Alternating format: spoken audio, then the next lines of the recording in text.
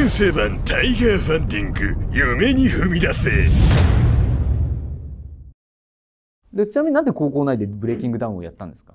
高校2年生の時にあのめちゃくちゃブレイキングダウンが流行っていてでそれでじゃあ自分たちでも開催しようと思ってでそれで あの自分が主催として、うん。まあ、あと一人でっかい友達がいてでその人たちとやって最初はあのこの自分の高校だけでやってたんですよ。1学年とか2学年勝負、でそれがどんどんインスタとかでアップしていってでそれがどんどんどんどんでかくなっていって、う。んそしたらあの違う高校の人からもあの出させてくれって言われて、でそそれがあ最後の試合なんですけどそれその試合に組まれたのが中卒対中卒とか入れ墨のヤンキー対ヤンキーでもう全く自分の高校関係ない人たちの高高校がやってたんですよ。まあその日学校があったんですよ朝は。朝昼学校で夜があの会。試合なんですけど、でそれで学校で今日やばいなみたいな友達と俺ら盛り上げるなみたいな。俺らすごいなすごいことしてるなみたいな感じで喋ってたら急に学校の先生に「ちょっとお前来い」って言われて職員室いたらそこに警察がいたみたいな。感じで。なるほど。これから乱闘大会が開かれるって噂聞いたけどみたいな。で今すぐあのインスタでも呼びかけれって言われてやめろろって。でそれで学校から食らった定定額1ヶ月っていう。おおでもなんかそそのね行動力はすごいと思っていてなんかそれこそなんか法律遵守絶対みたいな政治家よりもなんかいそれこそインフルエンサーとかの方が向いてるんじゃない？なんか寿司握れてなんか影響力あって自分でイベントとかどんどんね企画して盛り上げてみたいな、それほんやろうと思ってプロデューサーみたいな、はい、でも多分さすがにそれやってると議員にはなりにくくないかなと思いますけどね。本当にインフルエンサーが自分に本当に例えば登録者が200万人いたとするじゃないですか YouTube に。でそれで自分が立候補するってなったらやっぱ本当にけ結構な票を集めると思うんですよ。やっぱ自分が好きな人を政治のところに上がってきたらやっぱ投票したいと視聴者も思うんでだから本当にこれは自分的には正しいやり方なのかなと思っていて、でもゴールを政治家にしなくてもいいのかなって今聞いてて思ってましたね。うん。うん、なんかいろいろイベントやったり、ね、寿司やったりそれでも十分なのかなと思ったし。これってあの寿司職人寿司何でしたっけ？東京寿司アカデミーに行った後にマレーシア大学に入るんですか？はい。その理由は何ですか？衆議院選挙でやっぱ立候補するには少し材料が必要じゃないですか。この人の経歴とか。でそれが普通に中卒とかだったら、まあ、なおさらなりにくいと思うんですけど。でそれをこの結構英英語力もそのその当時までには英検1級も持っています。プラスしっかり海外の大学も卒業したっていうこの評価材料としてマレーシアの大学を選ぼうと思っていてこれって日本の大学じゃダメな理由っていうのは何があるんですか？例えば今の若者からして A と B に分かれていてで A が普通に日本の大学で衆議院選挙に立候補した若者と B が自分であの海外の大学卒業した若者がいたとしたらこれどっちに投票するかってなったらこの B の方が面白そうっていうのが本当に若者の意見だと思うんですよ。この B に投票する 代表みたいになってこのマレーシアは大学受験コンサルティングポラリスアカデミア代表吉村信弘。受験生向けに学習戦略課題解決を提案する受験コンサルティング。あまたの生徒たちを逆転合格へと導くこの男が目指すのは日本一の教育サービス。新しい未来を指し示すポラリスが受験生たちの後悔の道しるべとなる。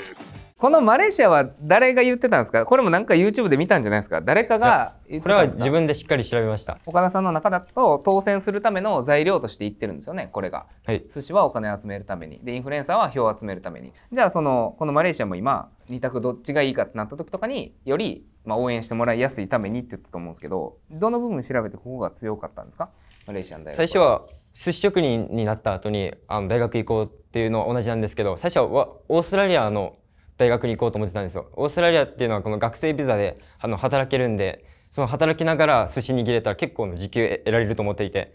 でも現実的にオーストラリアの大学があ本当に1年間300万とかでもうバイトでも賄えないんでいろいろと調べ調べてあの英語圏の大学を調べたら本当に今マレーシアが結構流行っているらしくてこの英語圏では。流行ってる。はそうなんか流行ってるって書かれてたんですよこの。あのウェウェブどサイトこにどこになのかな？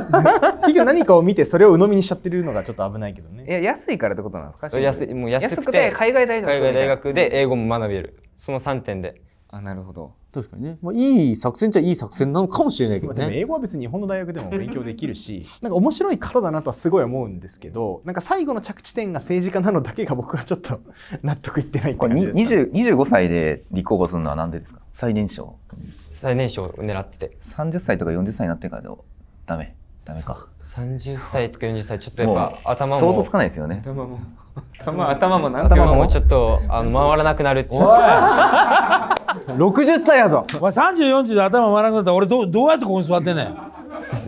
ごめんよ怖くないよや大丈夫ですそれ今お面白かったんですよはい。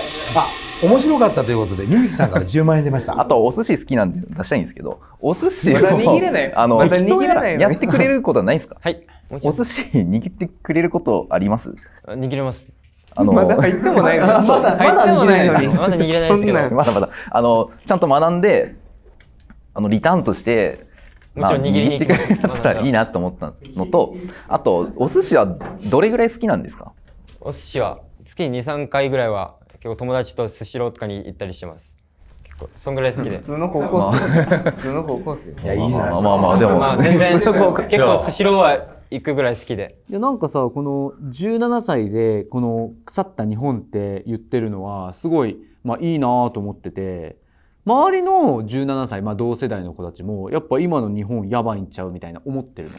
それが思ってないんですよ。もう思ってそれがみんな 一人だけ？そうです。うん。それが本当にみんな適当になんか総合型選抜で明日頑張るみたいなやつが多くてなんか危機感がない。危機感がないのに自分は危機感を感じてるんですよ。いやなんか俺が17歳の時にまあそんななんだろうな、まあ、高尚な考えには至らなかったというか日本同行よりもやっぱこう自分の受験とかさ自分がどうしたいかみたいなことにゆを思ってたのね自分は。はいだからこうね腐ってるっていう風に感じたのはやっぱどの YouTuber のせいなのかちょっと知りたいですね。腐ってる感じたのははい。やっぱ誰が？てか YouTube はこう誰を見るんですか？今の17歳は。今の17歳はまあ僕は人とちょっと外れてるんでわからないですけど、うんうんまあ、自分はやっぱり堀エモ門とか堀江もひろゆきとかひろゆき。中田敦彦の YouTube 大学とかあとはタロサックっていタうロサックわかります？聞いたことある。あの英語英語の発信をしてる、はいはいはいはい。そういうインタビューの系の動画とかしか自分は見ないです令和の虎は。あレワントラももちろん見ますいや、めっちゃ勉強になるで、令和の虎は。今いいパスだったのにレワントラももちろん見てますとりあえず今ね上げられたチャンネルをバンすれば日本はもうちょっと平和になるかもしれない。かもしれないいや要はねいい影響か悪い影響かっていうのは人が決めることなんだけどまああの岡田君が思ってることはすごいいいことだと思うんだけどやっぱりそのベースの知識がない状態で要はそういうねちょっと過激な、まあ、思想みたいのを埋め込まれちゃうと要するに寿司職人になっちゃうわけだよね。それ困っちゃうわけだよまあ俺らからすると。寿司職人だけ以外にももっといいルートはあって選択肢持ってほしいんだけど今マイベストルートが寿司からの衆議院になってるわけやん。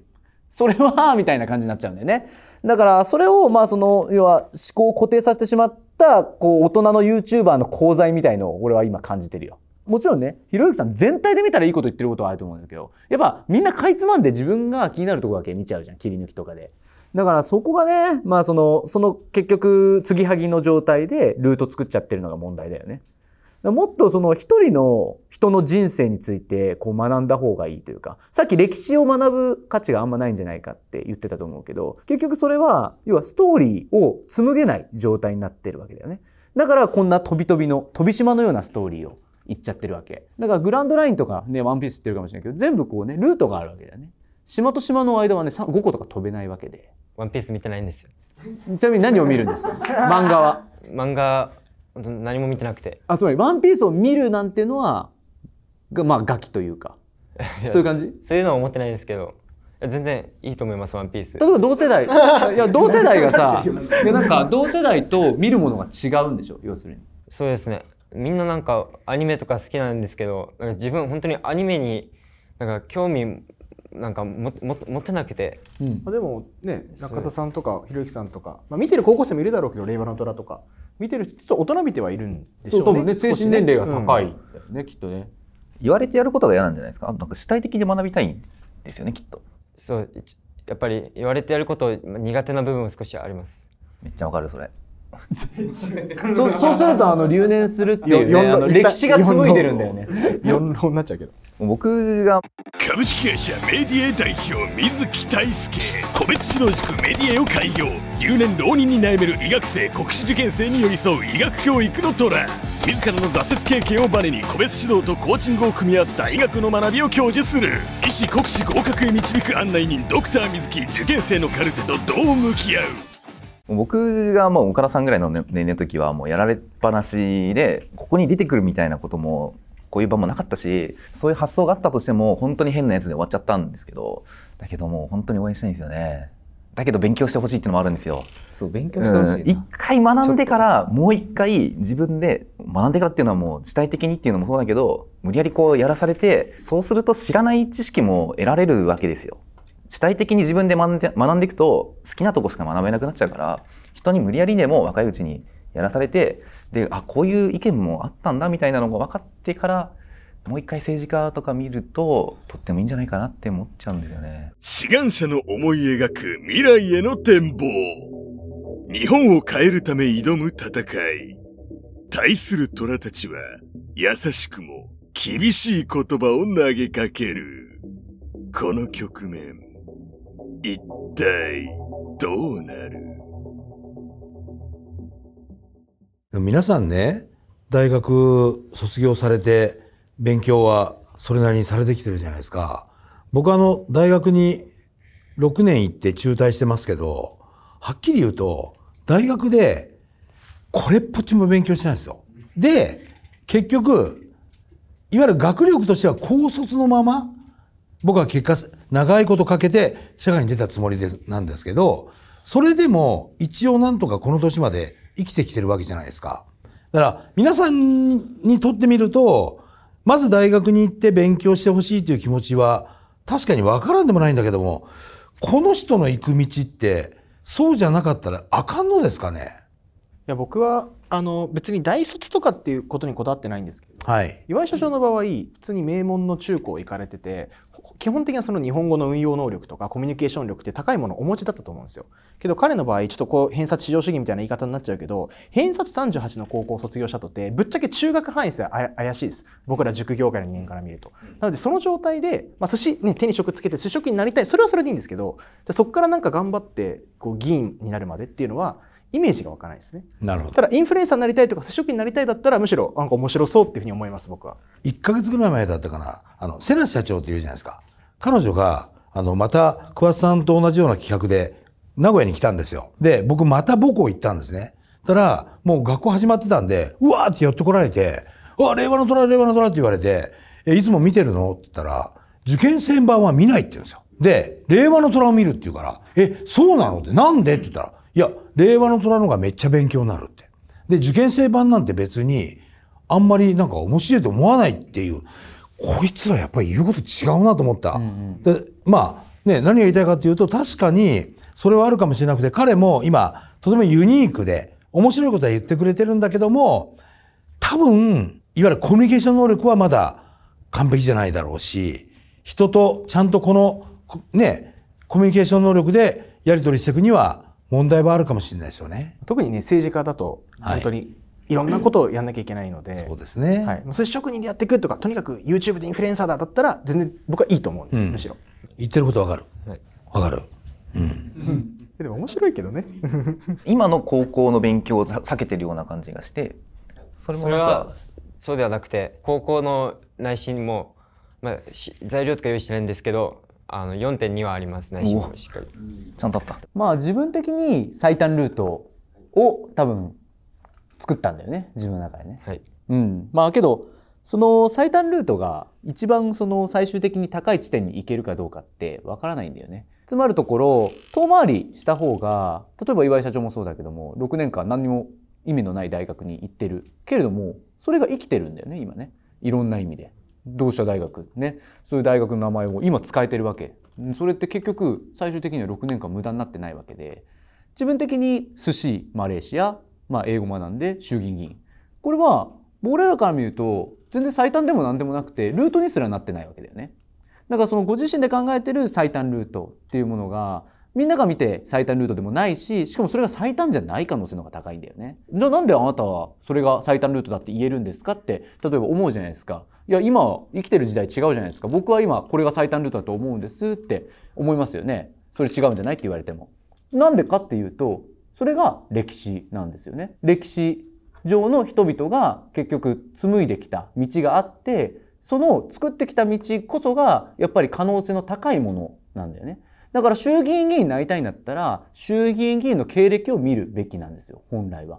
寿司職人から衆議院になった人は多いですか？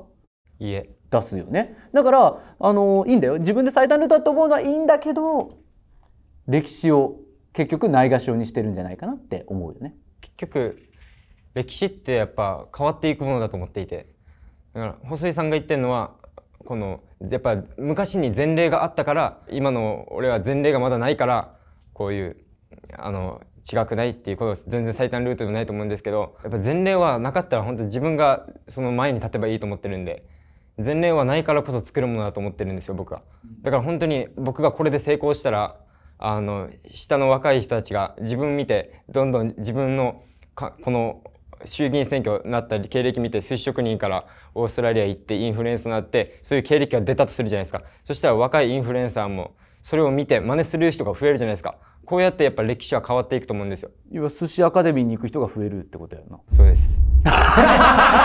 増えねえよ。誘導尋問に聞かないな。今あれ絶対誘導尋問したから。そこはそうですじゃないんだよ。まず衆議院議員になりたいって人少ないからな。そう。だから寿司が売れちゃうね。いやでもなんかいいよね。かわいいまあかわい。いかわいい。まあ可愛いんですけどその前例に自分が初めてなるってもいいんですけど今お金もらいに来るんだったらそのもうちょっとなんて言うんでしょうかね。イメージつくような感じというかまあ前例があった方がなりやすいっていうのもあるのを置いといて今までできてないからダメだろって言ってるよりかは本当に本当にルートになってないって感じなんですよ。最後のゴールが特に。だから寿司やったりマレーシア行ったりまあ日常を切り抜いて YouTube にする人はたくさんいてていろんな YouTuber いるんでそれこそインフルエンサーで何かでキャラが受けたりとか行動力が受けたりしてファンがつくことはあるかもしれないんですけど最後のそのやっぱ議員に行くっていうところまでが我々もなんとなくあできそうかなと思った上ででも前例ないでも岡田さんやったらいけるやったらお金出るんですけどなんかその本当にいけそうに思ってないんです衆議院のところまでってなると。なんでそこはプレゼンテーションだと思うんで自分はこうですっていうよりかはなんかこういう選択肢も用意してますとか確かにそういう考えなんでここ変えますとかでこっち側に前見った方がいいかなと思いますよ。厳しい指摘が続く中盤戦。若き志願者の挑戦に虎たちは追求の手を緩めない。続く後半戦。虎たちの心をつかみ場を動かすきっかけを作れるか。25歳で衆議院議員になれるとは僕は思わないです。議員になるんだったら自分より年齢上の人の票を集めないと厳しいんじゃないかなって正直僕は思ってるんで。受験生版タイガーファンディング志願者募集中。交通費支給もあるよ。詳しくは概要欄から。